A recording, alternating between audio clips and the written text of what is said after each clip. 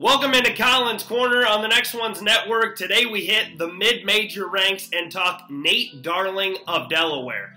A Nova Scotia native transfers over to Delaware after two seasons at UAB and has really taken on a leadership role and lit the Nets on fire in the early going for the Blue Hens. A 6'5 redshirt junior has scored in double figures in all five contests has a clean stroke, composed lower body, and good footwork, can really extend his range from well beyond the three point line as well, shooting eight threes per contest and 57% from beyond the arc. A tremendous performance here in the early going for the redshirt junior. He's averaging 26 points per contest, has had some huge games as well. 28 just the other evening against St. Francis, and then put up 37 in a win over UT San Antonio as well. I've also been really impressed with his ability to navigate the lane, good touch around the iron, can go off glass in a variety of angles with good English as well. A true competitor, guy that does it on both ends of the floor